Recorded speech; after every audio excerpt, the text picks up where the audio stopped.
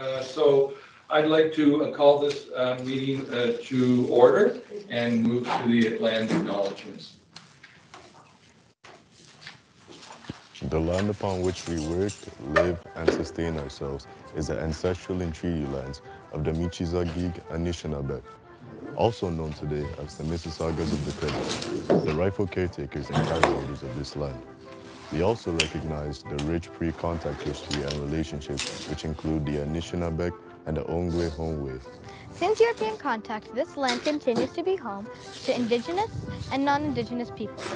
As responsible community members, we value the diversity, dignity, and worth of all people. Colonialism displaced and dispossessed indigenous peoples of their ancestral land. and continues to deny their basic human rights, dignities, and freedoms.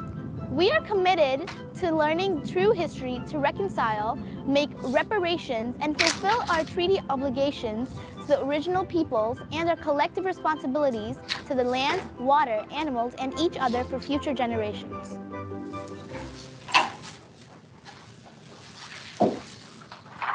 Great, thank you. And before we go to the agenda, just want to let uh, uh, trustees online that uh, I left my computer at home. So when you raise your hand, I'll have uh, our uh, board reporter be able to report when you you want to talk. So item three, approval of the agenda. Do I have someone to put that on the floor? Trustee Benjamin, seconded by trustee Bailey. All those in favor? So be it passed. Does anyone have a declaration of conflict of interest? Seeing none, I will move forward uh, onto the approval of the minutes uh, from uh, last uh, meeting of uh, April 12th. Do I have someone uh, put that on the floor? Trustee McDonald? Sure, and I also have a comment. about- Oh, you have a comment? Okay, so I'll put it on the floor. I'll have someone second it. Uh, Trustee, uh, I'll use Al's on mine. Um, Now, uh, now that it's on the floor. you have a Okay, comment? thank Yeah, um, so I just wanted to know if the minute, the minutes could be amended, because I think it's important to capture, um, you know, uh, everything that happens in the, uh, meeting, and especially, I think, under the naming and renaming of schools, it says a lengthy discussion ensued, but I think I'd like to let it be known that whilst, as a trustee, I have to abide by the will of the board, I think it's important that the public reading the minutes would see that a, a strong objection was raised with regards to um, the impact that the way the policy is would affect um, a previous commitment the board had to a member of the black community and his family to name a space after the individual.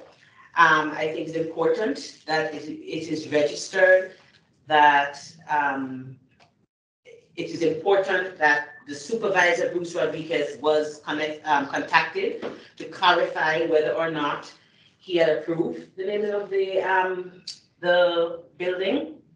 Um, I, I think it's important to capture that. It's, um, I also had, um, at the meeting, I spoke about the fact that, um, it's Color um, Ilimali, who the center was, um, as the community understood, named after him. He got a brain hemorrhage whilst typing a delegation to the board. And as a gesture, the board reached out to the family. The family didn't request it. And now, after you contacted grieving wife and family to renege on the promise, or it may even be that it was approved Okay, by the okay. uh, uh, Trustee McDonald, uh, you know, we're amending the minutes of the conversation there. So I'm going to pass it over to our governance counsel. Uh, Thank you for the comment, and through you, Mr. Chair.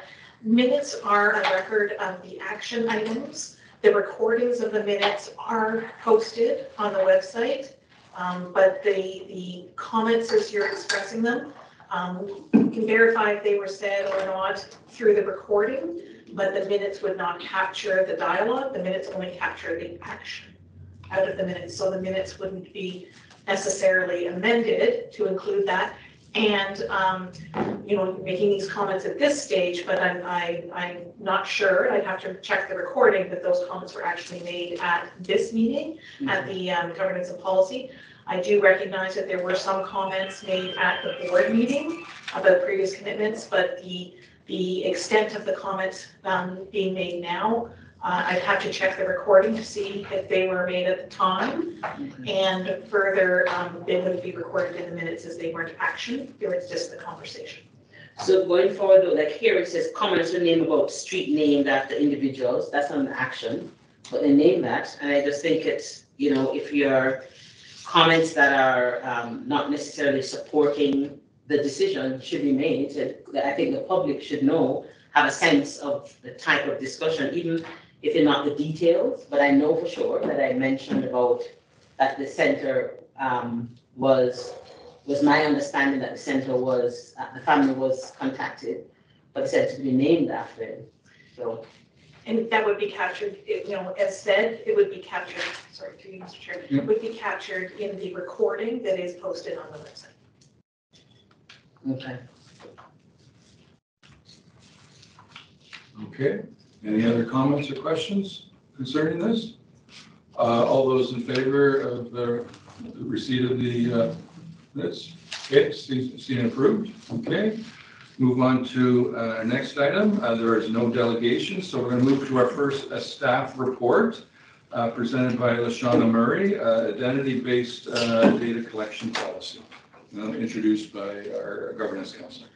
Thank you very much, and through you, Mr. Chair. Um, LaShawn Murray, our policy analyst, will be uh, taking us through the identity-based data collection policy. As you recall, it was at the April meeting as well, and she's bringing it for recommendation for um, approval at the board. LaShawn? Thank you, and through you, Chair. And so the identity-based data collection policy, its purpose is to permit the collection of PDSB student, parent, guardian, staff, both current and job applicants, and trustee identity-based data through various intentional methods that are guided by the Anti-Racism Act and related legislation. Its second purpose is to establish the guiding principles governing the collection, analysis, and use of identity-based data to identify gaps and barriers in programming, differentiated supports, initiatives, interventions, and processes that may relate to systemic inequities, to assess and address ongoing disproportionalities and inequities, to inform the ongoing monitoring of PDSB's initiatives and system changes, and to help inform practices, policies, interventions, and programs that aim to advance equity and accountability within the board. This policy will apply to all circumstances when the PDSB collects and uses the identity-based data of our students, parents, guardians, staff, both current and prospective, and trustees of the Peel District School Board. Since our last discussion at the April 2023 Governance and Policy Committee meeting, we've completed the consultations from the internal departments, the central superintendencies, the advisory committees, and the PDSB community. Based on this feedback, revisions to the draft policy presented include expanding the scope of the policy to include the collection of identity-based data of parents and guardians. And guardians, this would support our ongoing work regarding parent climate surveys and identity-specific parent advisories within our schools. To ensure the creation of an identity-based data collection and analysis framework that is grounded in board principles of anti-racism, anti-oppression, and human rights, and will inform the collection, use, and analysis of identity-based data. And to specify responsibilities for the central superintendencies, executive leads, and controllers. We'll address that syntax on page 10, and the senior leadership team. At this time, we'd like to extend our sincere thanks to the PDSB community and to board staff for their contributions to the development of this policy, and happy to take any questions at this time. Thank you. I'd like to put this on the floor. Uh, Trustee Bailey uh, puts it on the floor and seconded by uh, trustee Alves. Okay, does anyone have any comments or questions about uh, the policy? Yes, trustee Bailey.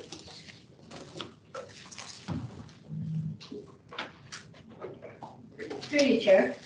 Um, when collecting data, um, it says in the report, for, the retention is for as long as it's needed for its intended purposes.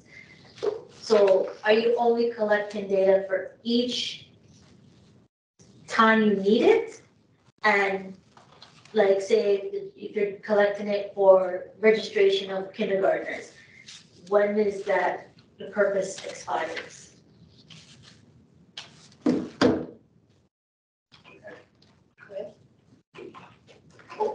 Yeah, I can do it. Through you, Mr. Chair, and thank you for the for the question. Each of the purposes, um, and you may recall, we had a records retention policy come to the, to the, um, meeting two meetings ago. So depending on the purpose, there's a corresponding retention period. So it's not a uniform thing. But if you're talking about OSRs, because that's where the information, the Ontario Student Record is where uh, registration information would go, it's the lifetime of the student record, which is, is 50 years past, past graduation. So if it was like something like the census, So the census will have a, through you, Mr. Chair, the census will have a category in the retention bylaw. I don't know it off the top of my head, um, but I believe it actually corresponds with the OSR. so parents are gonna know in advance how long this information is gonna be kept on file. They will know based on the purpose of the collection, and, and they can cross-reference with the retention bylaw. If it's at registration, it, it'll be the same length as the Ontario Student Record. Thank you. Thank you. Um, Any other questions? Um, Seeing I have uh, one. Um, So the policy talks about the data collection and et cetera, but I don't see comments around the frequency. Because I'm getting people asking me, I, I'm filling out the student census, and then now I'm filling out a school, uh, you know, um, I forget the acronym that's being used. And it's the same information. Why are they asking me twice? And then, and it just seems to be, you know, why does, why can't we ask it once and keep it for other information? But I understand things change, but I- I'm just curious about that frequency and duplication, if not possible. Thank you for the question through you, Mr. Chair. The, the purpose is, it's express consent. So the, the parents are giving consent for the collection of the information for the intended purpose. So each time, if it's a different purpose, they re- require to use the, the- collect the information from the, from the beginning again. The reason is we don't want to cross purpose. What we're trying to do is create a uh, a larger base for the collection through the, the census. So you may see less of that going forward because the purposes in the census was a little broader this time. So you may see, and parents may see less filling in the information over and over again. But it really is, you have to give consent to collect the information for the intended purpose. So consent makes it that way. Correct. And and that's a, that's a good uh, comment. And do we put that in, do we put that in the surveys? Because I don't get them, so I can't talk to it. Thank you for the question and through you, uh, Mr. Chair. Yes, Okay. it is put in, and every time we collect information, there is a, we call it a BIPA statement, the Municipal Freedom of Information and Protection of Privacy Act, and the statement talks about the express consent. Awesome. Uh, Chair, a question uh, to, uh, from trustee Davies. Just, um, from this, can a parent, uh, pull their child out of this? Like, is there something sent home before a questionnaire is sent to the student so that the parent can say, no, don't want this answered by my child and I don't want you to collecting? Thank you for the question through you, Mr. Chair. Uh, Yes, for example, the, the student census, while it was answered at the school setting, uh, it was sent home ahead of time for parents to review, talk to their children. Um, For the younger grades, it was actually answered at home and sent back, but for the older grades, uh, parents could um, speak with their child ahead of time and, and assist them with it. Um, So yes, that's from a census perspective. Thank you. Any more questions? I see a question, uh, trustee Alves? Thank you, Chair. Uh, through you, Chair. J- just wondering why we would uh, ask that in, in younger grades the census be sent home, and in older grades uh, have it in the classroom. Um, you know, I, I understand that you know in grade in closer to grade twelve, some students may may develop into adults into adulthood, but for the vast majority of the grades, they're all minors. Why would we not send them all home to have uh, parent consent?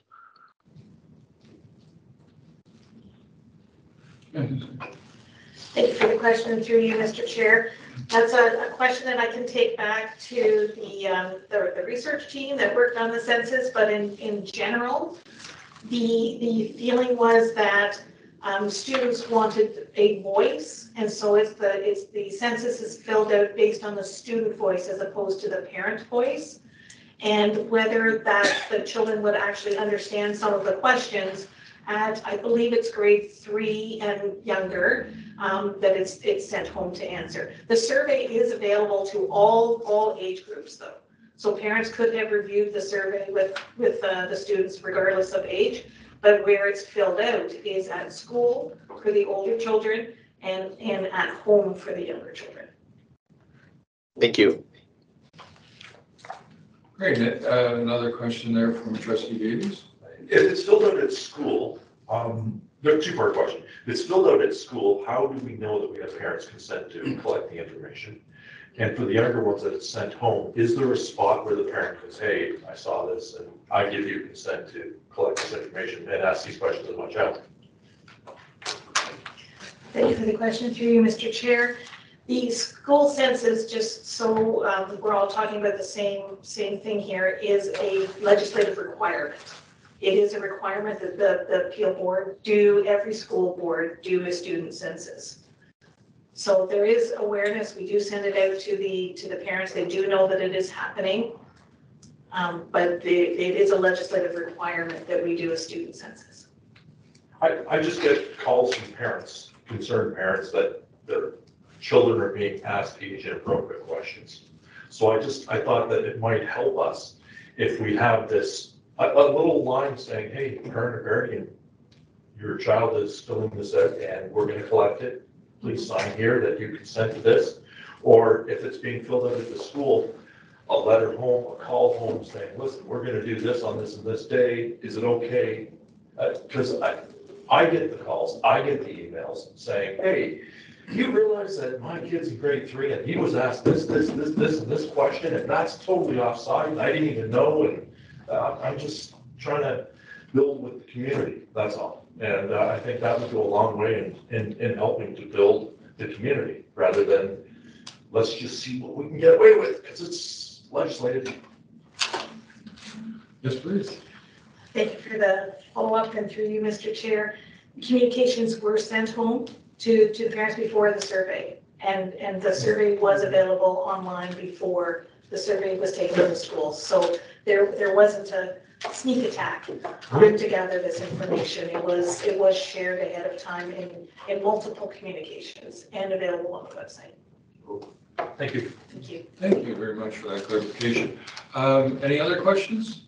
So since it's on the floor, uh, I have uh, a vote to to receive this report. Yes, uh, so be approved. Recommend. Recommend, sorry, recommended to be approved and taken to the board meeting next week. Thank you. Okay, we'll move on to seven point two, um, the community engagement policy. It's been distributed to us in an email earlier uh, this week, and I'll pass it over to our governance counsel, who will then hand it over to Lisa Hart for presentation. Thank you, and you, Mr. Chair. The Next item on the agenda is the community engagement policy, and it's going to be presented today by Lisa Hart, the Superintendent of Equity, Indigenous Education, School Engagement, and Community Relations. Thanks, Lisa. Thank you. And through you, Mr. Chair, tonight we are seeking recommendation for approval of the draft community engagement policy. As outlined in the board report, the community engagement policy provides a framework, values, and principles for accessible, inclusive, equitable, and meaningful engagement with communities.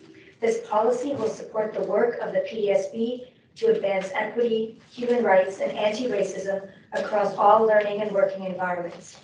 Ministry Directive 10 requires PDSB to develop a comprehensive outreach plan to rebuild and maintain trust and credibility with the board community, particularly with Black communities. In order to guide the development of the outreach plan, as well as subsequent plans, the PDSB must first have a policy and procedures that provide guidance and expectations with respect to how the board engages with the community. The community engagement policy will serve as an intentional tool, tool to build and maintain the relationship between PDSB and its communities. The purpose of community engagement is to work in partnership with community members to share information, experiences, and perspectives in order to inform decision-making. We welcome any feedback on the draft community engagement policy. Thank you. Um, Have I put it on the floor? No? Okay, so can I have it put on the floor? Trustee Alves uh, puts it on the floor. Someone seconded? Uh, Trustee Benjamin? Okay, now that it's on the floor, um, I have a question of trustee Alves. Thank you, Chair. Uh, through you, Chair. I, I just a question. I'm I'm not sure if I missed it, but I looked for it in my agenda package and I didn't see the policy included. Um, is this a verbal presentation? Uh, uh, So it was sent, uh, just let me, earlier this week, uh, let me just see, I have the email somewhere. Um, It was sent to the distribution list on Monday. So it was sent on Monday. If you look at your emails, you'll see the, uh, from legal governance, you'll see it, 7.2 communication. Got it. I'll pull it up through there again, but uh, thank you for the clarification. And, and remember, this is draft. It's not final. It's not going to, um, um, you know, our board. It's just to be any, oh, it is? It's draft, meaning that it's, oh, if we don't send it back or, you know, it's okay.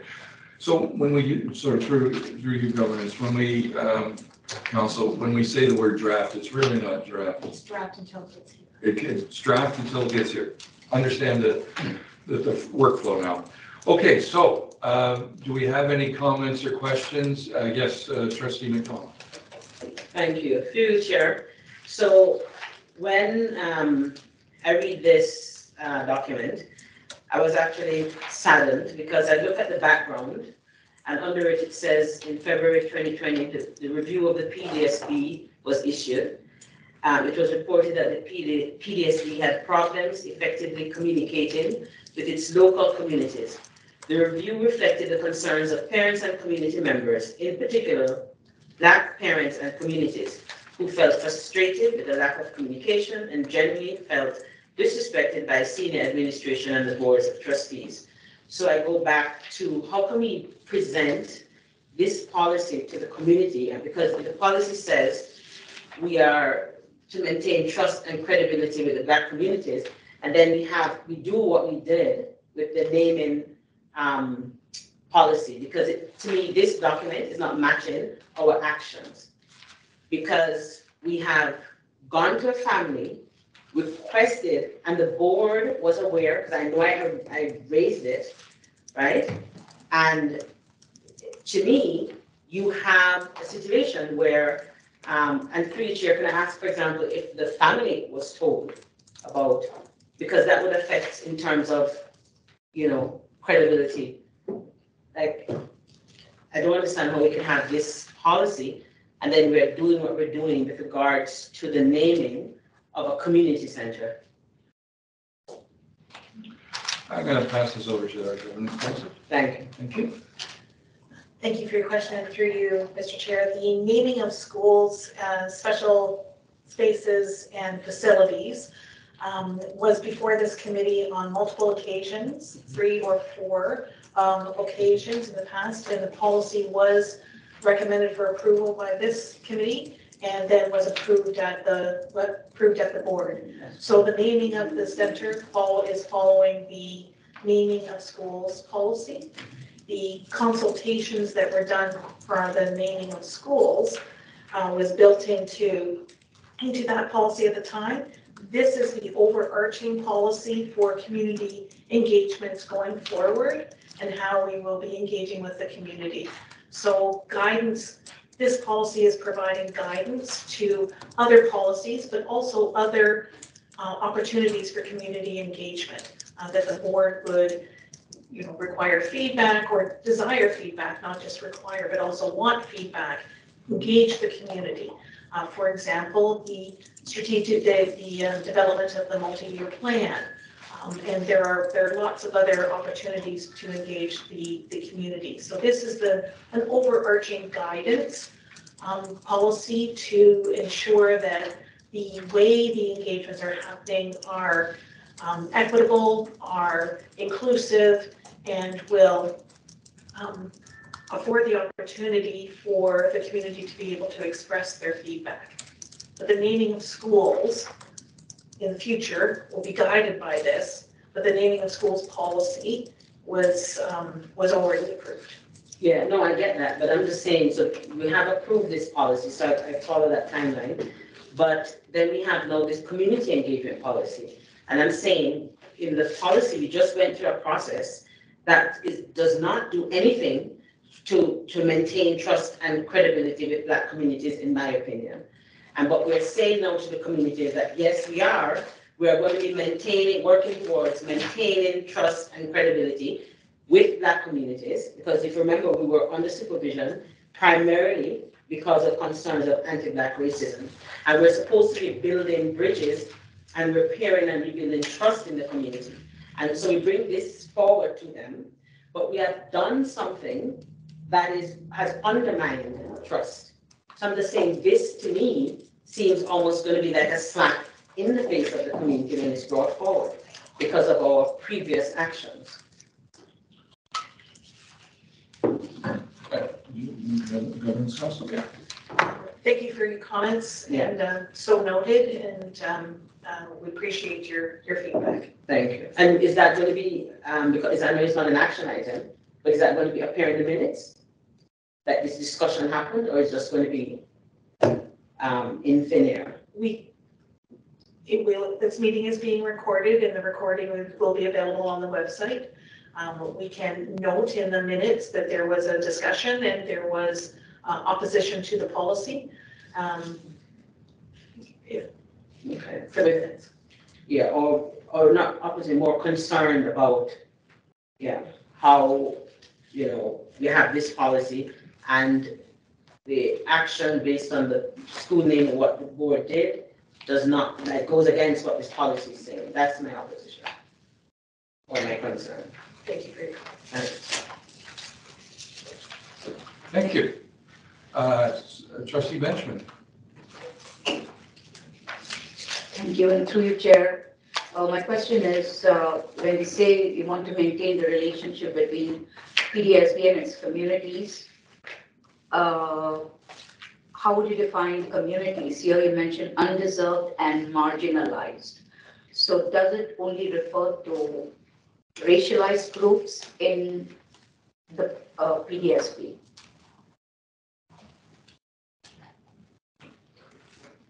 Uh, Thank you. Uh, Through you, uh, Chair, and uh, thank you for your question, uh, Trustee Benjamin. And I think when we speak to community engagement broadly, um, we are talking about the many um, aspects of, you know, who comprise our school communities. However, as identified in the ministry review, we recognize that there are particular communities um, who felt that their voices were not heard and that the community engagement that was occurring um, did not include. So this particular policy is designed to ensure that we are accessing and engaging and providing opportunities for those voices who have been historically, traditionally marginalized from these processes. So just to add to that, um, uh, you know, we take the student census, and as for the census, uh, some of the communities within the Peel District School Board's geographical limits are considered to be high SVI, that is socioeconomic vulnerable. So some of these are in pockets which are part of the trustees' wards. So here, it's not racialized groups, but it's a community which could have, you know, low-income groups and uh, such uh, communities.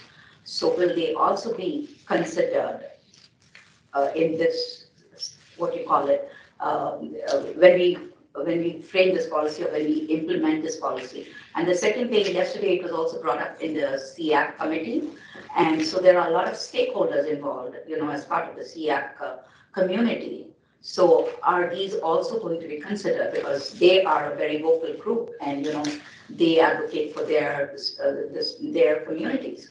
So so that's what I say, undeserved, marginalized. I think, are we encompassing all these communities? So Thank you for the follow-up question through you, Mr. Chair. As we develop the relevant procedures and the community engagement framework, we'll be consulting uh, multiple stakeholder groups across the PDSB to really amplify the voices of all of the students, staff, and internal and external stakeholders that we serve. Any other questions? Yeah, uh, Trustee Bailey? Through you, Chair. I'm, I like the fact that this policy is looking to, um, uh, have a policy of community engagement and involvement all communities, uh, and all families within the Peel District School Board. My question is, when there is a, um, community engagement planned and it's canceled for whatever reason, now, usually you give all the dates, and then when it's canceled, that date is just canceled. But when people have that date, they've rearranged, they wouldn't be able to accommodate another date. Is there a way to still make events happen? It's not part of policy, I'm assuming, it would go in the procedures, right? Which understandable is not governance. Um, but at the same time, it's looking at including people, everyone. So how do you accommodate for that? Is there a possibility to say if it's a per, because like this, this year, the weather prevented us from having one of them. And I know quite a few people that couldn't go to any of the other dates, except for the one that was canceled. Right? So then they didn't participate at all. How could you make that doable? And I see that you are trying, so I commend that. Thank you for the question, trustee Bailey, and through you, uh, Mr. Chair. Uh, In regards to that event, that engagement was canceled because of a a massive snowstorm, and many were digging themselves out that day. Uh, So what, we- what we did do was that when the, pol- after we received feedback from that initial drafting of the policy, we did then take the policy to an online survey that was open for two weeks. Um, and it was communicated through multiple different platforms to allow for opportunities for voice, like you spoke about.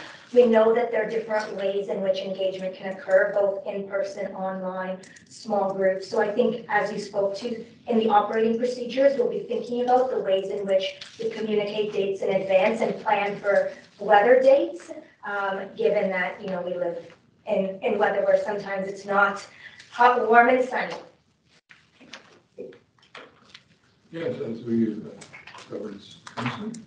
Thank you, and through you, and just to, to add what um, Superintendent Hart is saying, after that event, we, we actually took that into consideration and we've made a, a permanent page on the website for consultations. So um, at any time, you can click on there and see what's happening, when, and the documents for the consultation are there. So there's widespread, um, you know, knowledge and, and availability to provide comments. And there's certain windows for surveys and things, but there is an actual consultation page. Only one way, but it is, it is one. Thank you. Any other questions? Trustee Bailey? No? Thank you. And trustee Ellis, I see your hand there. And Mr. Chair, I can't raise my hand, but when, when trustee Alves finish, I got a comment. Okay, thank you, Chair Green. Uh, thank you, uh, Chair McDonald. Through you, I, I, I first I want to thank staff for bringing this policy. I think that the that at face value, this policy is, is great, and I think it it uh, um, is a wonderful thing to have. I, I do think that I might have found a couple gaps and, and that I wanted to raise. Um, so I've got four points that I think might offer some gaps. I'll, I'll start with a little bit of uh, clarity and specificity, and I, I think the policy might is lacking a little bit regarding clear guidelines on how community engagement will be conducted. Uh, this might lead to ambiguity ambiguity in its implementation. I think without specific procedures and protocols, it may be challenging for stakeholders to understand their roles and responsibilities. This might result in inconsistent or ineffective engagement efforts.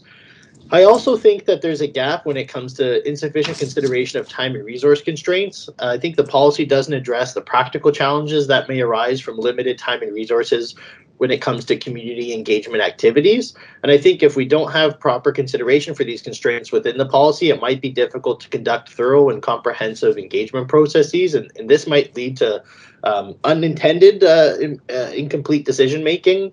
Um, the, the last uh, couple points I have on this is I think that the policy might not uh, have safeguards in place or a way to measure uh, or mitigate potential biases or undue influence in the community engagement process. Without proper checks and balances, I think we might have a risk of, uh, you know, some groups or stakeholder groups that might exert disproportionate influence over others regarding the decision-making process or comprising of the fairness and objectivity of that process. And my last bit is that while the policy mentions accountability, it doesn't necessarily outline specific mechanisms for holding the PDSB accountable when Im- implementing community feedback. So I think it might be helpful to see the see those edits uh, made to the policy. Um, but again, just really want to thank staff for the policy. I think it's it's wonderful, and um, I do think that this is a policy that that is is is needed. But I think those are, are a couple gaps that we might be able to fill. Thank you, trustee Held. You really went fast through that, so uh, I'll turn it over to, to to the governance counsel uh, and and go from there, so. Uh, Thank you for the question, and through you, Mr. Chair, you raised four points, and I'll, I'll take them in order. The first one was um, guidelines on how this is to be implemented. Those are procedures and guidelines that will be, as, as Superintendent Hart did mention, uh, that's the next stage, is they are, the policies and procedures will be coming. So it's not necessarily um, for the actual policy, but procedures, guidelines, um, templates, etc., will be developed uh, following the, the approval of the policy. The second one was time and resource constraint. You're absolutely right. There's lots of opportunities for um, consultation, and that will be um, will have to be tempered by the amount of time and resources that are available. That will be measured through the reports that come back to the trustees um, to show this is the, for example, if we're doing um, policies, we can do seven policies because that's the amount of time that we have and resources that we have uh, to do the proper consultations for each of the policies. So you'll be aware of that while the um, work is unfolding, whether it's policy work or, or other work for the consultation. So it's not necessarily a policy requirement. It is just a fact of reality with time and resources. For the third one, the safeguards the biases in the process and disproportionate um, influence. That's one of the reasons to have the policy in the first place, is to provide that framework to, to monitor, hopefully prevent, but certainly be aware of that. When there's a consultations and, and reports are coming back to the board for um, approval or for recommendation for approval, part of the reporting process will be the community engagement that was done. So you'll be able to, as a trustee, um, and as the board, see what community engagement has happened, and we'll be able to, to gauge that. You likely will not get the, this person said that, but you'll get the aggregate of the information that's, that's provided, and that, that will be an influence on the, on the reporting, on the program or policy, and um, as trustees, that's where your influence will come in in the voting for those programs and, and policies. As to the fourth one, the accountability piece, how do we ensure that the PDSB will be accountable to this? Again, with the reports that come back to the, the trustees, you'll be able to see what the community engagement was. That's the accountability piece. So if you see a report that comes back and, and you think there should have been community consultation and there was a community consultation, that may be an opportunity to return or, or make a recommendation that's supported by the, the balance of the board would be able to say, take this back, let's have some community consultation on it and, and go forward. So there is accountability at a variety of, of levels. Um, the actual implementation for the particular programs and those that are leading that, uh, together with the uh, director uh, as we're bringing reports forward, and then ultimately the board as well. Through you, Chair. Th- thank you very much. That that clarification was uh, much appreciated and very helpful. Thank you. I, I don't have any further questions, Chair. Okay, we'll now go to Chair Green online. Yes, thank you, Mr. Chair. Uh, through you, Chair, um, just uh, would ask that maybe we may take a, a, a look at the word marginalize uh, because we constantly use that word. And that word, as far as I'm concerned, and the community is concerned, because this is something that I'm dealing with in the community, is uh, the word marginalized is a stereotyping word. And uh, if we could use maybe word like vulnerable community, I think it would it would go over well, uh, especially a policy that we we are created to communicate with the community, uh, because when community um, community is already under enough stress and pressure, oppression, and so forth, we we, we don't want to uh, be be uh, stereotyping them anymore. So I think um, as we move forward as a board, I think we need to uh, remove that word and, and, and maybe use vulnerable or another word uh, because that's a stereotyping word. Uh, uh, thank you very much. Thank you. Sorry, through you, Governance Counsel? Okay, Thank you for the comment, Chair Green, and through you, uh, Mr. Chair, thank you for the feedback and the comment, um, and we'll, we'll take that into consideration. okay, uh, but we're voting on that. um, And so we, have, you know, we have to either make the change here or, sorry, sorry, through the Governance Counsel. And uh, thank you for the further comment through you, Mr. Chair. The, these, these statements that are expressed in the policy and in the report are um, the express language that we have used throughout the directives and, and otherwise. And to make a change at this stage may not necessarily represent what's happening in the community and what work has been done. But what we can do is take that back for um, you know, future consideration and to include going forward. It's good feedback. Um, as far as this policy, if that is the uh, intended language change future, these policies are never etched in stone. And the ability to come back and to update the policies based on any updated language is always a possibility and can be brought back at either the, the behest of a, of a trustee, uh, back to this committee or otherwise, in order to, um, into, in order to affect that. I would be hesitant to change the language on the fly when that's language that the community has, um, is familiar with and has been, um, accustomed to in Peel documents at this stage. But again, I think that it's good feedback for us to consider and going forward with our work. Uh, Chair Green, any comment?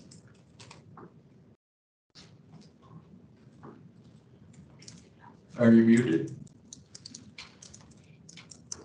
That red button means muted, right? Trustee Green, you, you're muted? Yeah. Um, yes, Mr. Chair. Uh, thank you for that. Um, I, I would appreciate that. And as we move forward and review uh, policies, and I, I think it would be important that we we take a look at that and uh, look at the the sentiment of these words that we use in terms of the policy and how we we, we classify community, our our individual communities. So uh, I appreciate we can't go back now, but as we move forward and look at revision of policies, I would like to see uh, you know that word is uh, start we start looking at using other words than that word. So, but I thank you for the feedback. Appreciate it. Thank you. Thank you, Mr. Chair. Thank you. Uh, Trustee McDonald? Yeah, thank you, through you, Chair. Um, if I could suggest, if, if they're looking at, um, rewording, probably say that the system marginalizes rather than marginalize. And because to me, vulnerable, just using the word vulnerable is the same thing as marginalized. It's still, you're right, stereotyping. So I would say that the system marginalized would be a better way to phrase it. And I think a lot of people are changing, that's all the language is changing too. If you look at, yeah, so a lot of people are moving away, yeah, thank you. Associate Director Logan, you would like to? Through you, Chair, as I was raising my hand, that was exactly what I was going to articulate as well, that, um, similar to what, um, trustee McDonald had said, that, um, when we speak about marginalization, it's talking about how systems and structures impact particular communities. It's not a label that should be attributed to communities, and sometimes people do that, they say marginalized communities as opposed to historically or traditionally marginalized. Um, when we use the term vulnerable, vulnerable may not necessarily convey the way that the system is operating to impact. And so that's why we often use the term marginalized, but we should say historically marginalized or the way that systems and structures marginalized, not labeled a community as such. So I hope that helps to clarify. Yeah. Thank you, uh, Associate Director Logan. Uh, Any other questions? Uh, I think Lucas, uh, trustee uh, uh, Yes. Alves?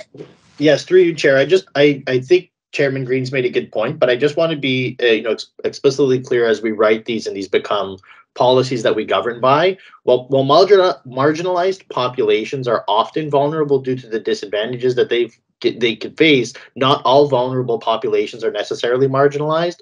I think it's important that we that we understand that marginalized, uh, per its definition, refers to individuals or groups who are pushed to the margins of society and may have experienced social, economic, or political disadvantages. And vulnerable refers to individuals or groups who are more susceptible to harm, exploitation, or adverse conditions due to various factors. I think as we select the definitions, it's it's inherently important that we're explicitly clear.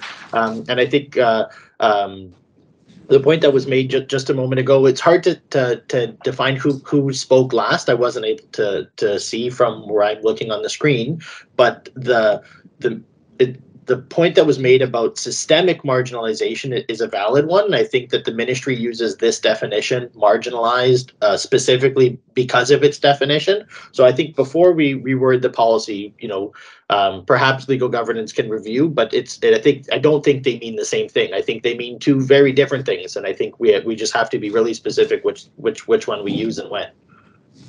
Yeah, thank you, uh, trustee Allison. I believe our our governance counsel and uh, superintendents have said that we take that feedback for moving forward. Uh, But this policy is, is unless we have a motion to change the wording, uh, is, is on the floor. Uh, Any other comments or questions? Okay, those all in favor, uh, taking, uh, recommending this to the uh, board meeting passed. So we're, got that one complete. So now we're going on to seven point three. So can I have someone put this on the floor? Uh, Trustee uh, Baylor puts it on the floor. Someone second, trustee Ellis. Okay, this is the months of recognition days of significance presented uh, by uh, Lisa. Thank you.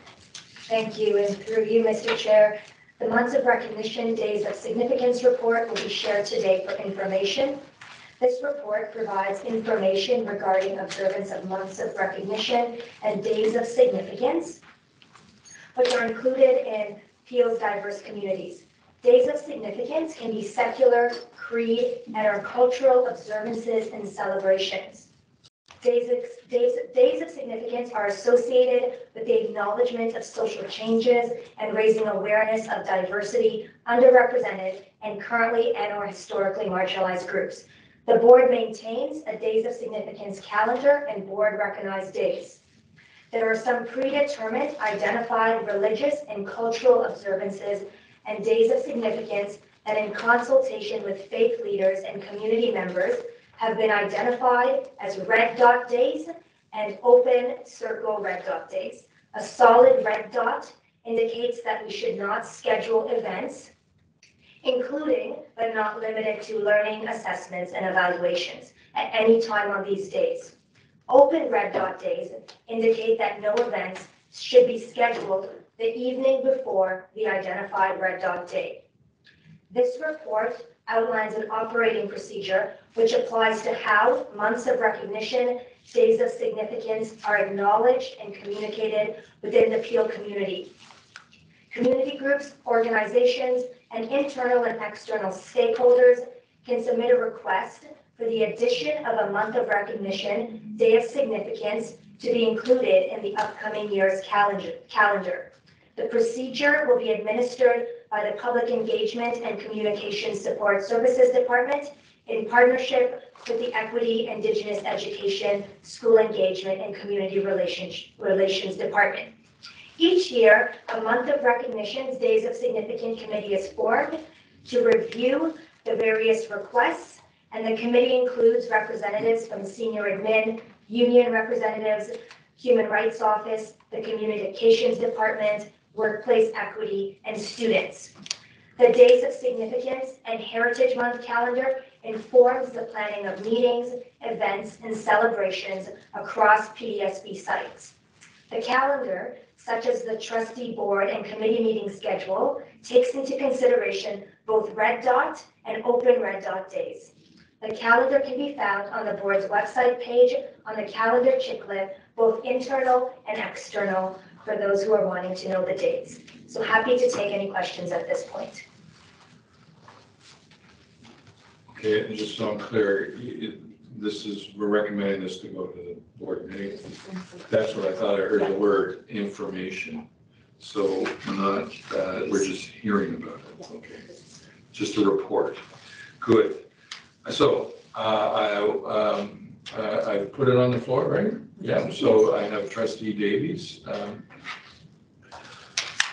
I, I, I think if we were to pull up the calendar, um, I think you'd find a lot of red dot days, a lot of red circle days. And I, I've just become concerned about the workload of meetings and the scheduling of meetings. Um, I- Call me old school, but it, I mean, if the school's open and our staff has to work, I, I think that we should be able to schedule meetings and, and, and we should be working on those days too. Um, again, just throwing that out there, we're gonna run out of days, guys, we're running out of, we've already run out of months twice with uh, significance and month of recognition, and uh, I just think if you were to actually pull up the actual calendar, you'd find so many red days that, I don't, I don't know, guys, we're gonna run out of days. Thank you. Uh, Do we have a response to that? So thank you for the question, uh, trustee Davies, and through you, Chair. Uh, Red Dot Days um, are an opportunity to really center students, staff, and intersectional identities. And it's really an opportunity to build more inclusive schools. And so that opportunity to really consider the students who may not be attending uh, that day because they're they're celebrating or staff who may be celebrating. That's something that when we think about our PDSB culture and the ways in which we promote inclusion and opportunities for students to engage, that's how kind of the, the red dot days were determined and why we continue to, to center and affirm the identities of the students we serve. And I'll just add to that um, question, because uh, I don't know when it was, 10 years ago, we went through the, a- process of, um, we had 100 uh, bolded days. Uh, So it was 2012, so, okay. It was 2012, so it was 11 years ago, when, uh, um, you know, truly, um, you know, said 100 days, this makes it very difficult to do interviews, because we had, you know, interviews was a part of it uh, board meetings and school council meetings and et cetera. So at that time, the, uh, you know, it- it went back to the various groups and the faith groups and various people to review what is actually a bold day and what is a, a circle day. And it, uh, it was reduced to about 50 at the time. Um, I haven't seen the calendar now, but anyway, I just want to highlight that, uh, you know, it's a something that can be, say that, you know, be sent back like we did in 2012, as it's outlined in the report, December 11th. Okay, thank you. Yeah, but just, I, hey, I come from the private sector and I know that every day is a work day unless it isn't. And, uh, so I just wanted to, I- again, if, if from the school level or something like that, we're gonna do something like that, but I just thought as trustees, perhaps we should look at, um, respecting staff and, and, uh, you know, not, we're gonna only have like forty days where we can have all of our meetings and it's preparing for meetings and presenting and stuff like that becomes difficult on staff and and to sort of really scrutinize on what our red dot days, that's all. Thank you for your comment. Trustee Bailey? Thank you, through you, Chair.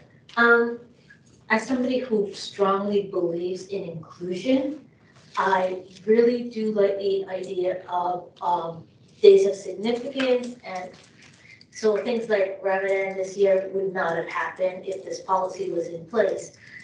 That being said, I understand what uh, trustee Davies is saying, because when you look at the amount of observances and special holi- religious holidays and special days, it does take away a lot, it does put a lot of red dots and open red dots. So it really is, um, to what chair, the chair is saying, is to um, really look and figure out a way in how we can balance inclusion and still operate and be feasible, right? We don't want anyone to feel left out and or to feel like they're not special enough or um, their co- their their beliefs is not important. So recognizing that and how can we balance it? It is you are making a valid point, right? That's just thought. So I'm not putting uh, words in your mouth, but are you wanting to put a motion or something to have staff go back and reevaluate all the, the, the red or, or- or? I I I would like, I would like that. Okay, well, So, Yeah, so come up your with some way for, um, we can be inclusive, celebrate and acknowledge, but at the same time, not put so many red on the calendar. so can I hel- hel- help you maybe frame a motion? Sure. And please, you know, I'm, I'm not telling you what to do, but uh, a motion has to direct staff to do something.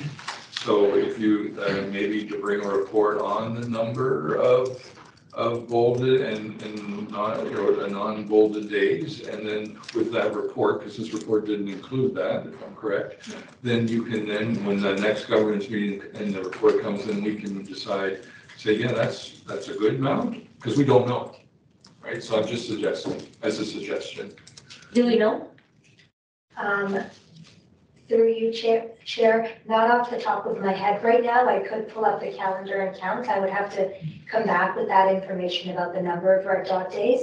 We have not added any additional red dot days to the calendar for next year. We have added for recommendation days that amplify and support days of significance as well as heritage months, but not denoted as red dot days. And the red dot days were confirmed by our faith leaders across the PDSB in terms of, you know, creating those opportunities for staff and students as well, staff who may be presenting at some of the committees that you're speaking about, who may not be able to attend because they're also celebrating on that particular Red Dot Day or Open Red Dot Day. So that's also a consideration, um, was around staffing availability as well, when we're thinking about how we serve the larger system.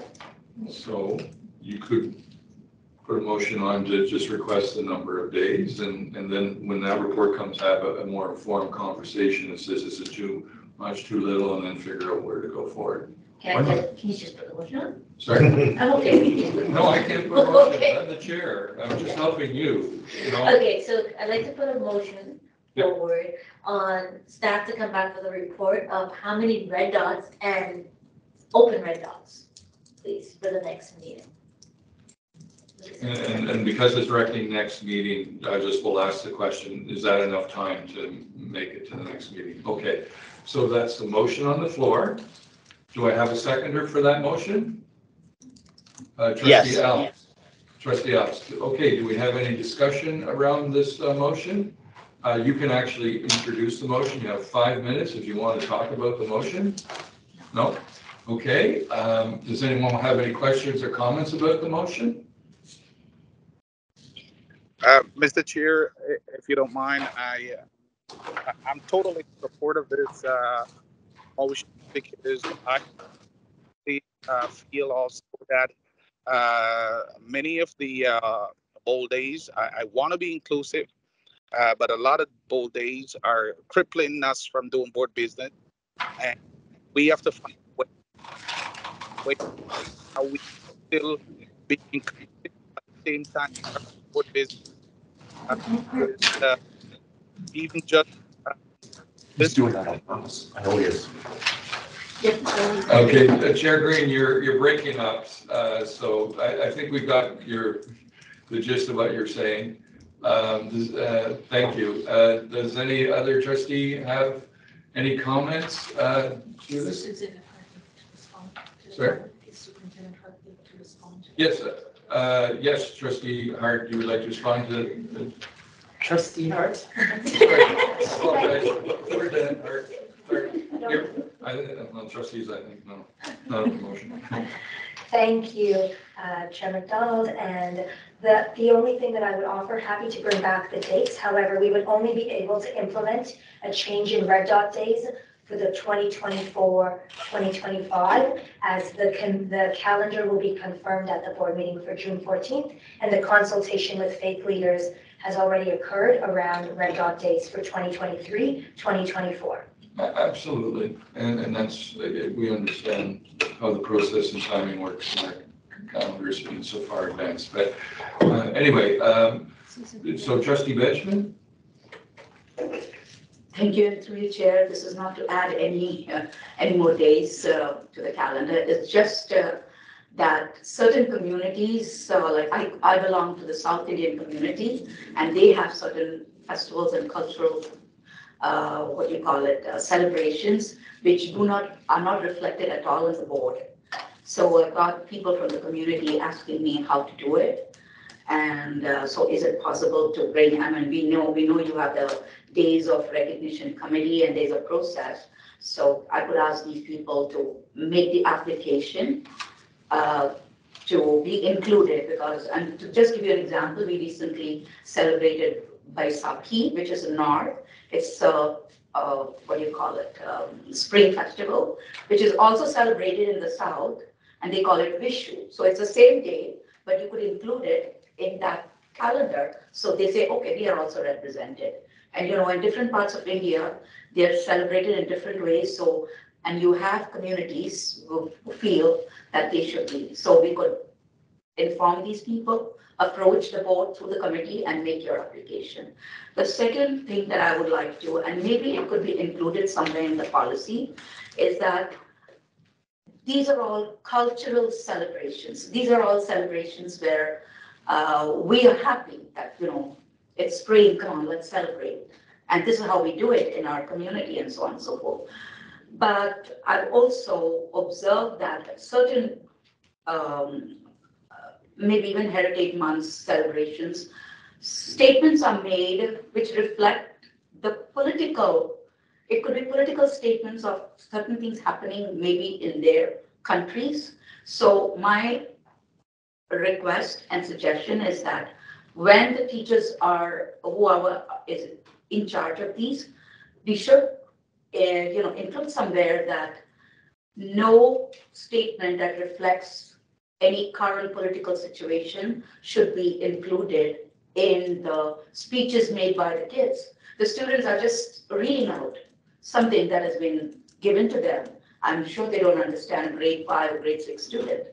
So it's just an observation because it happened uh, at one of these events and I felt, okay, that was totally inappropriate because it was making a comment on a political situation. Thank you, uh, trustee Benjamin. Do you want to reply? Okay. Thank you, trustee Benjamin, and through you, Mr. Chair, in terms of the application process, part of why we've developed this operating procedure is to be, you know, build more transparency around the application process and the way in which internal and external stakeholders can put in a request around the addition of a day of significance. And unfortunately, not all of the days are about celebration. So for example, May 5th would have been the National Day of Awareness for Missing and Murdered Indigenous Women and Girls. And so there are also days that are an opportunity to bring education and awareness uh, to both students, staff, and families around you know, issues that they need to have a greater understanding about. And to your second point, uh, you know, thank you for that feedback and the way in which the department curates and provides resources. There's an opportunity to provide some feedback around, you know, providing information around geopolitical issues. Thank you, and uh, let me tell you that, you know what, all our staff do wonderful work in educating our students. Okay. Thank you. Uh, Thank you. Uh, Before we continue, I just want to make sure we have a motion on the floor, so we're speaking to the motion, okay? Anyway, uh, trustee McDonald? No, sir, I'll wait for the motion and then, yeah, Okay. sorry, I Okay. forgot the motion. Yeah, thank you. Uh, So do we have any other conversations left on the, on the motion? Uh, Seeing none, uh, uh, trustee Bailey, you can close. You have three minutes to close if you'd like to close. Okay, so we're going to put it to a vote on the motion, which is to uh, ask staff to- at the next governance meeting to bring a report on the number of bolded and non-bolded days. Tho- uh, Those in favor of the motion, uh, I see, yes, we have uh, approval. So, so approved. Okay, uh, now we can go to trustee McDonald and comment on this, uh, the report from information. Thank you. Um, so your discussion just um, triggered something I was going to ask you. Or you see, when you mentioned the um, month of recognition slash days of significance, I was just wondering if um, one, is there a procedure, an operating procedure in days, let's say, a celebration or not celebration, like Red Dress Day, right? Um, how does that get disseminated through the system? Because I was doing a, um, I was presenting at a school for um, a Black History, not Black History Month, a, a, a Black Studies course, right? And it happened to be on Red Dress Day, and one of the students in the class was an Indigenous student, and she um, said, "Hey, um, I was upset because I didn't hear the, the the school didn't announce it was ready. So like I'm wondering how these like the days such as those are they is there a procedure how like schools are yeah Oh, Thank you for the question, trustee McDonald, and through you, uh, Mr. Chair, in terms of how information is provided, it is dependent on the particular day and the ways in which we provide resources. For, so for Heritage Months, uh, my department does provide uh, a website as well, as well as resources that are available to educators so that they have opportunities to engage uh, their students in meaningful ways, as well as we offer uh, various live events where you know teachers can sign up their class to attend. For example, for the day that we're talking about, National Day of Awareness of Missing and Murdered Indigenous Women, Girls, and Two-Spirited Peoples, we did put out a memo as well as there was a system communication that went out with resources that was uh, created by the Indigenous Education Team to support educators in doing that in a way that is age appropriate, as well as ensuring that you know they, they understand what occurred. And there was an email sent to the all staff. So it depends for different days. We do provide uh, resources as well as central communication. Every you know day of significance is recognized through some sort of commu- on the communication side in terms of it's recognized, but in terms of resources, it's not for every day, but we think about kind of the ways in which we can provide resources to the system. okay thank you so through you chair yes. um, so a day um, of such significance right because it's really i would assume it's, it's not more a celebration it's more about learning and an awareness piece right so but there's currently no um, requirement that all schools, just like Orange Shirt Day, is, is there no requirement that it should be um, like mentioned at the school or it should be um, tweeted on Twitter or like on, on the Facebook, like social media? Is there yeah, requirement for that? So thanks for the follow-up, trustee McDonald, and again, through you, Mr. Chair. Uh, there is, there was a request put in by the Indigenous Education Team to have that date added to our Days of Significance calendar for next year. And so the, over the summer, Communications Department and our, our department will be looking at the ways in which we recognize, amplify, and communicate uh, the various days of recognition and how we do that in a way that is supportive and inclusive of all of the stakeholders that we serve. Okay, thank you. And I have So- one more question. Okay, uh, can I just ask a Yeah. clarification? So, so if I understand, not all days of significance are coming into the school as teachable opportunities. Is that what I understand you said? Teachable interest, sorry, again, thank you for the question, and through you, Mr. Chair, uh, some days are recognized where schools have the opportunity to create learning entry points, and then there are days that are curated by, you know, various departments who provide resources through, from the system. Thank you. I I sorry to interrupt. uh, Yeah, no, no, that- that's Thank you, thank you. Trustee McDonald, you had another question? Yes, I have another question. It currently on the um days of recognition, is it officially on our calendar, the Tamil Genocide Education Week? So thank you for the question, trustee McDonald, and through you, Mr. Chair. It was, it will be added to the calendar for next year, uh, Tamil Genocide Education Week. Okay, thank you. Uh, Trustee Bailey? Through you, Chair. Uh, just a clarification. You said that all schools get this information. In what timeline do they get it? Is it the day of, the day before, or enough time to plan something? So thank you for the question, trustee Bailey, and through you, Mr. Chair. For Heritage Month, uh, we do send that information. Our goal always is to have it sent out um, a week in advance of the particular Heritage Month.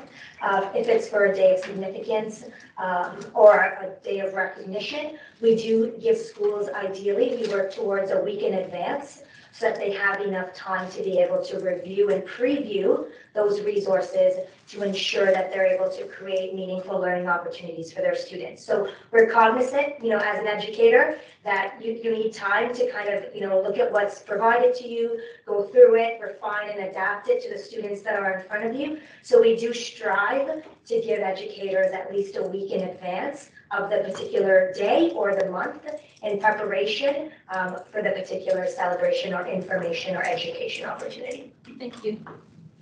Thank you. Um, Any more questions? Can I- Okay, trustee Benjamin.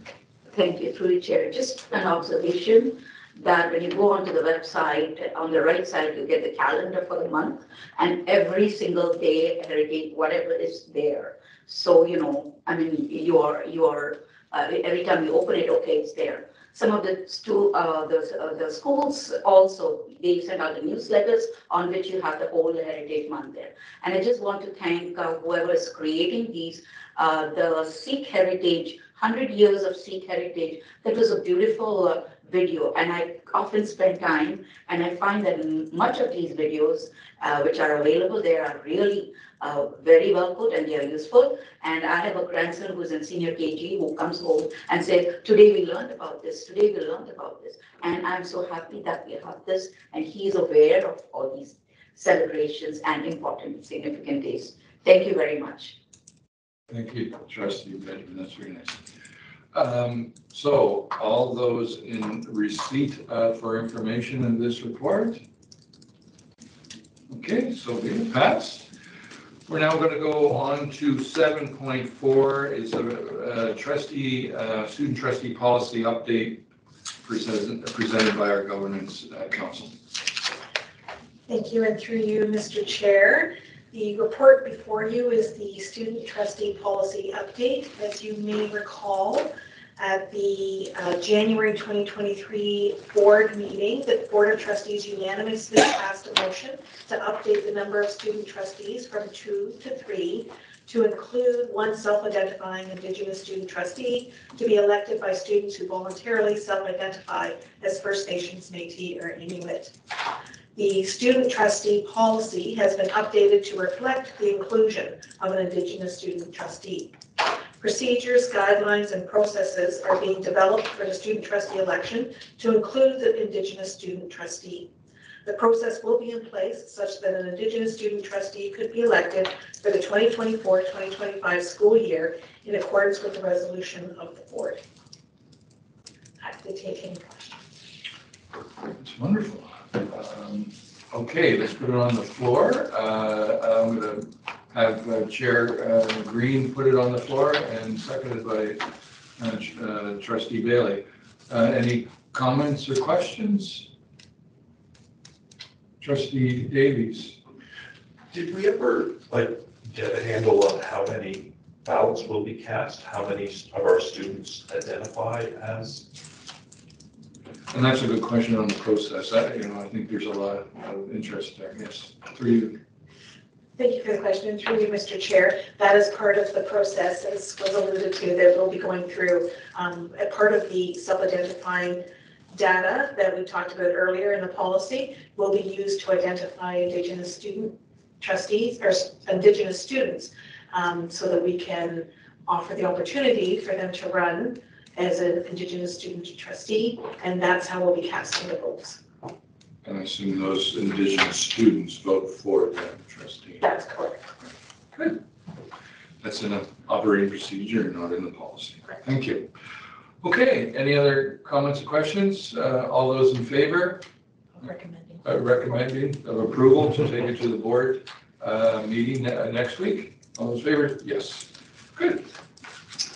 We're on to 7.5. Uh, This is a notice of referral from the March 8th Curriculum Equity and Student Wellbeing Committee. Um.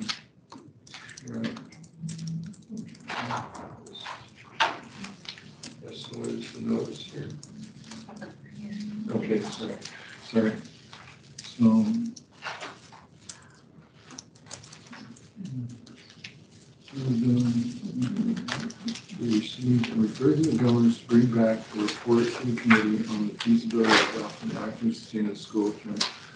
Transportation charter. Sorry? Yes, please. Thank you, and, and through you, Mr. Chair. The delegation process, and we're, we're just getting back into delegation processes after supervision, so we're, we're having delegations come to committees. And at the last Curriculum Equity and Student well-being Committee, there were actually four delegations. Trustees have one of four options at the end of each delegation. The first is to simply receive it. The second is to refer it to staff to report back. The third is to refer it to the Director of Education for action. And fourth, to refer it to another committee. At the Curriculum uh, Equity Student Wellbeing Committee in March, two of the delegations, there were motions at that committee to refer those delegates to this committee. So these two notice of, of uh, referrals, this item seven point five and seven point six, are both the notices to this committee that we, as this committee, now have work to do on those referrals. So the referrals are here for your consideration and direction to staff what to do with those referrals. So the first one, seven point five, is uh, a referral in connection with the active and sustainable school transportation. And the, there was a presentation regarding the active and sustainable school transportation charter. Attached to the notice of referral is the delegation request and presentation that was made at that committee. So at this point, can be a discussion about the, um, put the notice of referral on the floor and a discussion if there's any motions coming out of the notice to direct staff about what to do with the charter. I'll be honest, Thank you. this is the first time I've had this in my twenty years, so it's a, it's a little new, so I'm sorry, I'm just trying to catch up to the process. Um, and, and so what I'm gonna do, first of all, uh, that we're gonna have uh, someone put it on the floor. Trustee McDonald, will you put it on the floor? Try- Seconded by trustee McDonald. So from what I'm understanding, uh, you're, um, we are open to a conversation around that and eventually someone can put on the floor a motion of action of some sort. uh, Or, or if there's no action, but I think a delegation at least needs a response as a minimum, to be honest with you. But anyway, uh, that said, I'll open it up and trustee McDonald. Sorry, just to clarify, the process, because in my nine years, I'm gonna have this of this way too. Because the way I read it, I thought they would, to bring back a report to the committee on the feasibility of adopting the act. So do you have to put a motion now again to say that the, the, the staff bring back a report? Also, you have to put a motion here. Okay, just out of curiosity then, for the process, why couldn't we do that? Why wasn't that able to, um, happen in the curriculum? Yeah, and, and by the way, take that, because, yeah, I have the same question, and, and I think it's a good one. And Traditionally, uh, we would uh, have, uh, the, the staff pro- provide a response, but now we have the option to send it to the director to get a response, and that would be the traditional way we're used to. Uh, but now we have more options open, and now it's to refer to a committee who maybe that is under their purview of conversation to then maybe look more, or then say, no, I want to refer to the director, and you can provide the response, or staff, or, you know, et cetera. So we have all those options now available. Did I summarize, summarize that correctly? Uh, Thank you, through Thank you. Um, yeah, yes, you did, and it's because it was referred to a different committee. Had, had the, the motion at the curriculum committee been, and staff report back, then staff would have reported back to the curriculum committee. But it was felt at the curriculum committee, um, the, the movers and the seconders felt that it was more appropriate to be at this committee. So then it was referred to this committee, and this committee will consider whether uh, they want to report back from staff that are responsible for this committee. Okay, Okay, thanks. But as the mover of the motion of bringing it here, I misunderstood what I was doing. Because what I wanted to do was get the report at that, point. I didn't mean for it to come back here, but sorry, that's my, um, uh, somehow lost in translation, so apologies for that. But if I could put a motion then on the floor to bring back a report to the committee on the feasibility, I guess now will be governance committee, I guess. So if they could bring it back to the governance committee on the feasibility of adopting the active and sustainable school transportation charter. Okay, and I think we'll just put the word, a report from staff, I think, right? Yeah, Yeah, absolutely. Do you have a second? yeah. Okay, trustee Benjamin, uh, you have five minutes if you want to talk about that, or we, you know. No, I think Okay. we had the discussion. Um, does anyone want to have a comment to this? I have a question. Okay, trustee Bailey? Through you, Chair. What is the purpose of the active and sustainable school transportation charter? So it's a commitment, it's getting, oh, sorry. So it's, uh, and, I'm not sure if you got a chance to read what the charter is, right? It's, it's a commitment from the board and other parties to work towards, um, active transportation to school. Reducing, um, vehicular traffic to the school, encouraging walking, biking initiatives. Um, it's, and, and, you know, there are many benefits to that. It's regards to, um, first of all, the environment, right? Second of all, health, and then physical health as well as mental health. Um, and there are many studies that have um, been conducted that shows a direct link to when kids are active, they actually do better in tests, in their tests too. Um, and, and the particular study I'm thinking about actually was in the math, right? And math scores were way up. Um, so it's, it's a win-win, I think, for all to encourage and, and even part of the chart, we talks about um, uh, communicating and, and um, discussions within the community to see like what are the barriers or the obstacles why they won't let the kids walk, right? Getting the Peel Regional police involved in terms of safe pathways, safe roadways, the cities to make sure the pathways are fixed, yeah, there's a lot of. Yeah. Thank you. Right. Thank you. Thank you. Thank you, trustee McDonald, for answering that.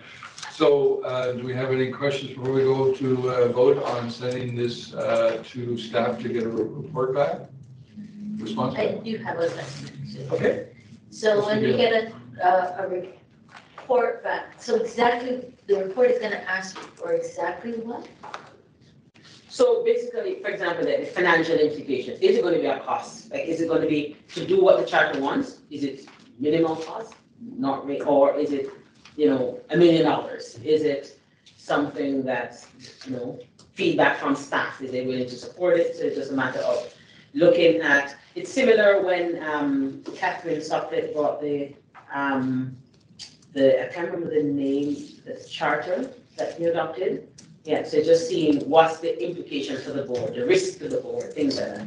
I, I think that it it says there, it's a feasibility of adopting the active, uh, sustainable school and, and stuff, the charter. So we're gonna ask staff to go and look at that and see what are the implica- implications of that? And then we as a committee will look at it and say we like it, maybe we put a policy in place, or we just say accept that, and then it goes to our board meeting. And, uh, and then maybe if something happens, but we, again, we can't, not knowing what the report's gonna say, but it's look at the feasibility of adopting this charter that was presented in the delegation. Through you, Chair, I think I'm a little bit um, confused about this for the simple fact that um, what we're looking at and the reality will be two different things. Because in com, in getting your children to school is not the board's purview, it's parents. And to say how much it will cost for the charter, we can put the charter together, but how will that help parents and how will that support it? So- That's why I'm a little bit Yeah, confused. so I think what, what happened, and you know, obviously you were there, Trustee McDonald, the delegation presented that this is the charter, it's, it's really about a philosophy of trying to promote people to, you know, walk, bike, and not use the car.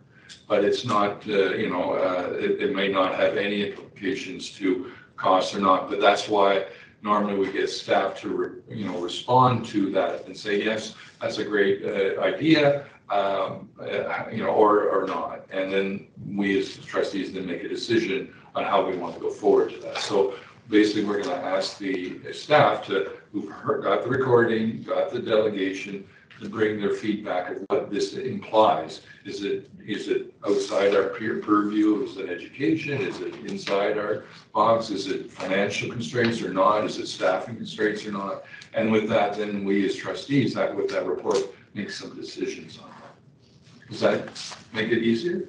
Yes. Good, thank you. Thank you. And. Trustee McDonald? Yes. Yeah, add to, add to the answer, for example, one of the things that the charter asks us is to locate and design schools to meet demands of future growth that maximizes opportunity for students to walk, cycle, and, pub- and use public transportation. So the staff could respond to that. Is that a feasible thing? Can they do that? Or support the installation and, and all-season maintenance of walking and cycling facilities. Can they do that on their school properties? So the staff will bring back that report to, to, to, and address, I guess, what the charter is asking, the question that the board does. Thank, thank you for that clarification, trustee Can I McDonald. just add one more? Yeah, yeah, trustee Benjamin.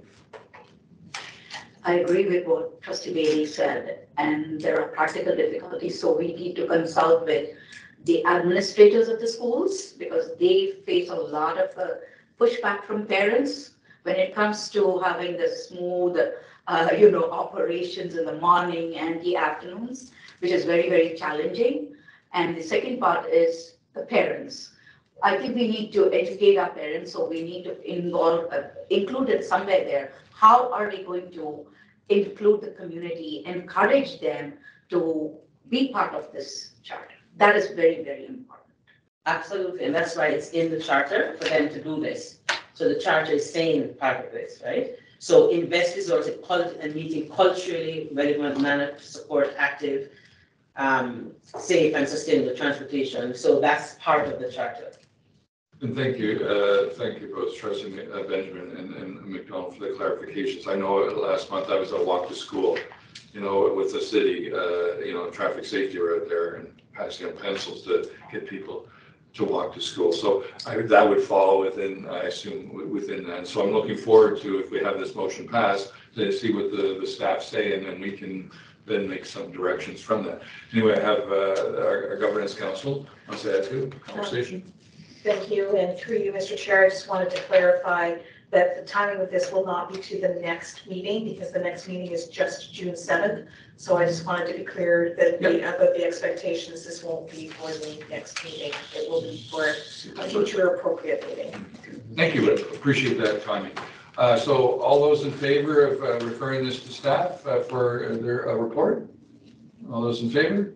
So be it passed. Um, We'll uh, move on to the next notice of motion uh, from the same um, Curriculum Equity Student Wellbeing Committee meeting. Uh, That is, uh, it was uh, recommended, the result of the report, uh, re-secondary final evaluation 2023-24 be received and referred to the Governance and Policy Committee to review. And I see that was uh, put on the floor by uh, trustee Alves and second by trustee Clark. So, um, so I'm going to have trustee uh, Alves to put it on the floor. Uh, Do I have a seconder? Trustee uh, uh, Bailey? So um, trustee uh, Alves, do you want to, since this was your referral from the committee, do you, uh, do you have an action or comment that you want to take? Yes, sorry, I I missed, uh, I missed the preamble. Forgive, uh, forgive me for that. I was having a bit of technical issues. I'm just gonna pull up the agenda quickly and, and jump in where we were. Is this the policy? I, I think I might have caught it wrong, but can you refresh me on which, what the, um, recommendation was from the last committee meeting?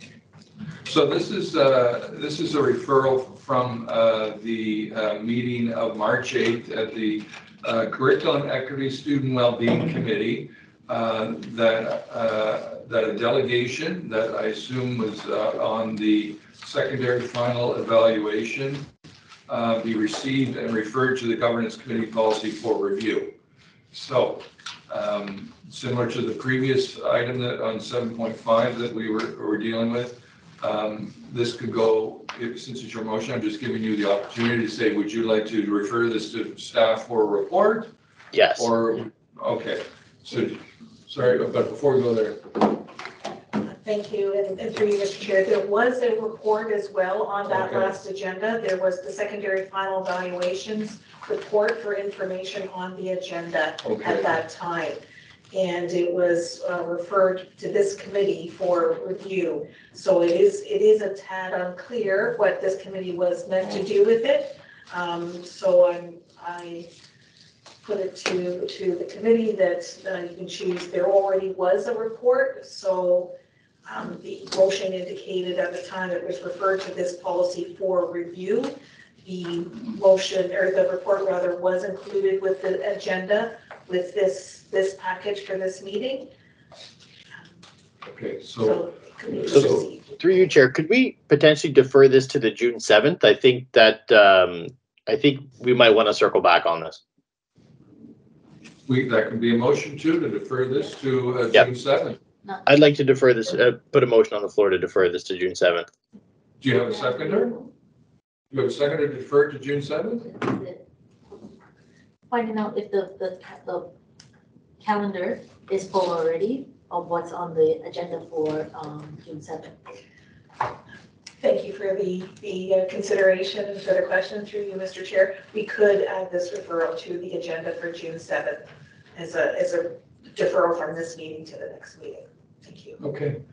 Um, So do I have second, uh, trustee Bailey, do we, uh, you have uh, motion on the floor, you have five minutes, uh, trustee Lucas, uh, or sorry, Alves, if you want to talk to it, or? Thank, thank you, Chair. I, I don't think I need to speak to it. I think we'll, we'll defer it to the next meeting so we can take this back and, and decide, you know, what, what we want to push for it. Um, I think that we just haven't had that time yet, so, uh, I'll relinquish the five minutes.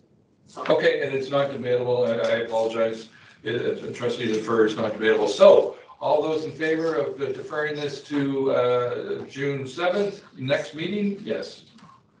So it's uh, been passed, we're now deferring that thing. Thank you. Okay, and let me go back to my super. So I think we have uh, one more item. Oh, it's on the back.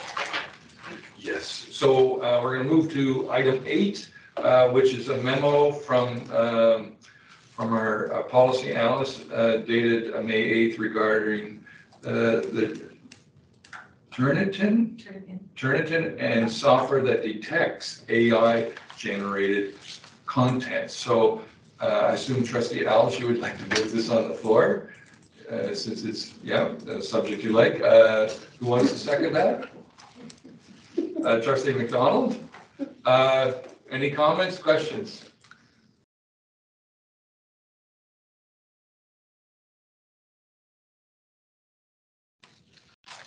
Just out of, Tr- uh, Trustee Bailey?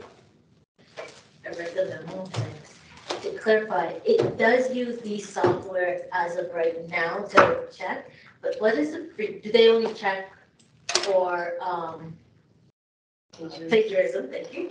Um, if something seems odd, what is the parameters for checking for plagiarism? How does, how do you know that? Good question.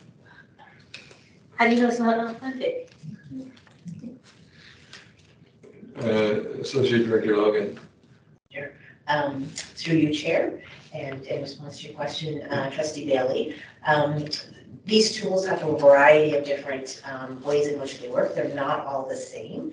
And so um, what we tend to do is to develop different approaches to respond to the students, uh, to speak with them about the tools and so forth. And we do have that specific tool that does provide us an opportunity to um, review and check for plagiarism. It's a very uh, useful tool and many of our schools do use it. Um, But it's just one out of those tools, but we also have other approaches that support us with that as well.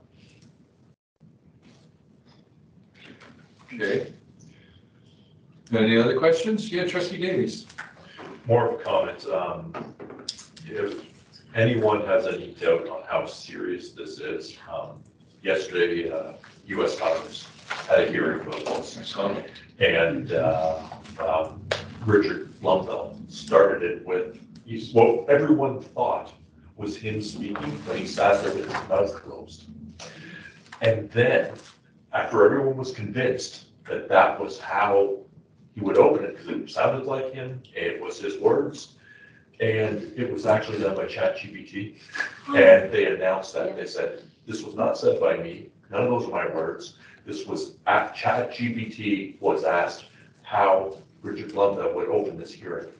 And it not only um, used his voice from different things, but also put words in his mouth, literally. So check that out if you don't think this is serious. No, I saw it last night. Yeah, actually, Michael today's, yeah.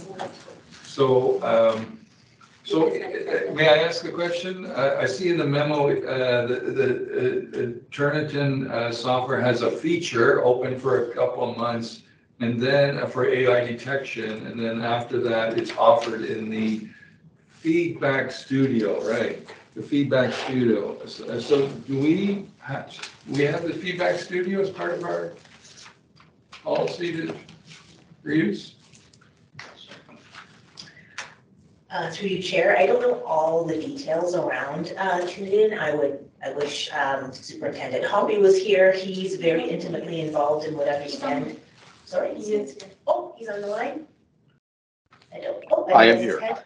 I'm gonna turn it over to you, Superintendent Hobby. I'm glad you're on the line. Jump in. Thank you. Superintendent Hobby. Not a problem. Uh, through you, Chair. So, uh, Turnitin.com, they do have um, this feature that was just mentioned, and it is something that we are exploring because it is additional cost. And so it is something that we are making sure that it is within our means to be able to provide as a support, as we are also engaging in conversation around with the full scope of what it is capable of doing. But it is something that we are very much interested in pursuing and making sure that if it is something that we that is fiscally responsible, that we are going to be able to provide as a tool, um, as uh, Associate Director Logan mentioned, one um, adding this to the furthering the repertoire of tools that we have available um, for our staff in supporting students. And being the budget chair committee, uh, committee chair, whatever, um, maybe that's a business case to be put on there for, um, to be considered, uh, for the budget then. Thank you. Uh, any other questions? Trustee Alves has his hand up. Oh, trustee, uh, Alves. Yes, um, so I, I realize we're using Turnitin. Um, just a question, um, has the PDSB just considered using ChatGPT? Uh, ChatGPT offers a, a free service that it will, will preemptively tell you if it's written anything itself. Um, and then there's a paid feature. Have we explored that avenue? Through you, Chair. Um, that is something that we have not officially explored as of yet. We are aware of a variety of other software companies who are trying to capitalize on the power and the opportunity that ChatGPT provides. Um, however, um, as far as um, that particular feature that you just referenced, no, that is not something that we have pursued at this time. Got it. Thank you. Uh, through you, Chair, I, I uh, appreciate the memo. I, I don't have any specific questions relating to this memo, Chair. Um, not sure if it would be appropriate, so I'll ask uh, you, Chair, but I have a question for a follow-up from a meeting past regarding AI policy. Would, would it be all right if I ask that follow-up? Yeah, I, let's ask the question and see where it goes. Okay, thank you, Chair. Uh, so, so through you, I, I- I believe at governance past, we had talked about a, uh, staff AI policy. Um, I was just wondering if we could find out where, where we are on that. I know that, uh, that this is the committee where I had originally brought it up. I'm just wondering what the status is. Thank you. Can someone, uh, feel that, uh, governance, uh, counsel? Thank you, and through you, I believe that the questions that were asked at the, at the meeting are answered in this, in this memo. And I think that the, the, and I don't have it in front of me, so I apologize, but I think that the um, um, possibility was to bring back a policy on plagiarism in the, in the future. We are not there at this point. We did not did not have the opportunity to get that done, of course, for this meeting, but that, that I understand is the next steps. That Yeah. policy on plagiarism would, would include plagiarism at PDSB would be, um, for students and for staff. Uh, through you, Chair. Uh, thank you, Catherine. I, the, I think I had asked for staff to bring a report on the staff policy regarding uh, the use of AI from within the PDSB uh, to draft things, you know, whatever they may be through the use of chatbots. And then the staff, the student policy is different. I, I remember I had specified that the student policy would be discussed in curriculum, but the staff policy would be discussed in governance. Um, so the request was to to bring that staff bring a report regarding that policy and and if it exists. I remember at the time we asked staff were unsure of it. Um, so hoping we can we can get that back uh, up and running. Okay, I'm gonna ask uh, LaShawn, our policy analyst, to uh, respond. Yeah, uh, through you, Chair, um, it is my understanding that in the interim time between the governance and policy committees, we'd be working, um, with trustee Alves to develop a motion, um, that would allow us to bring back a report or policy, um, on staff use of AI. And so I believe it was for us to sort of take it back and to formulate a formal motion based on my understanding, um, around staff use of AI. Is that okay, trustee Alves? Uh, thank you. Yeah, through you, Chair. Uh, would it be appropriate at this time to ask for that motion on the floor for staff to bring uh, to direct staff to bring a report on the status of uh, that policy? I guess it would be in, in correct form, yes. So uh, you have a seconder for that, trustee Bailey. Um, Since it's a directed staff, we can open it up for five minutes debate if you wish. Do you have any opening com- comments? No, uh, thank you, Chair. Through you, I, I don't have any opening comments. Uh, my only note is that I think it's, you know, given the vulnerabilities that come with uh, access to these chatbot services, I think it's important that uh, we look to protect the institution. I know that uh, I'm going to misquote here, but uh, one of our government agencies, a regulatory body, I bel I don't, it wasn't our GC, but um, give me one sec.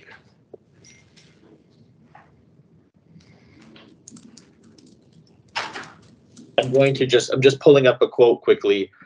Um, sorry.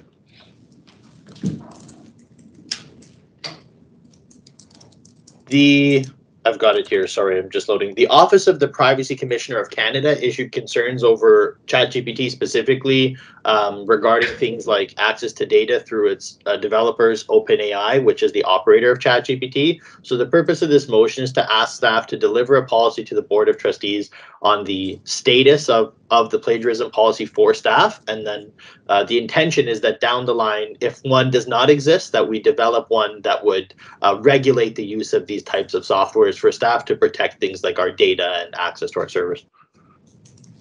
Thank you. So we have a, a, a, a, you, a seconder and it's on the floor. Uh, Those, uh, unless I have any comments, we'll go to vote. All those in favor of, of that? Uh, So be it passed. So we have that motion passed. Um, th- Any other comments on our, on this memo before we move on? Okay, seeing none, we're going to move on uh, to item uh, nine, which we do not have any motions for consideration. Item 10, uh, no notices of motion. So I'm going to go to adjournment. So who would like to put that on the floor? Trustee McDonald, seconded by trustee Bailey? Oh. I'm sorry, We'll do the notice of motion. okay. Uh, Trustee Benjamin, put this, uh, seconded. All those in favor of adjournment? So be adjourned. Thank you, everyone.